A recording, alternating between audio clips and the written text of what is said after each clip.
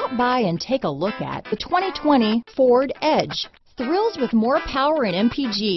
Either way, you're in for an exhilarating experience with Ford Edge. This vehicle has less than 100 miles. Here are some of this vehicle's great options.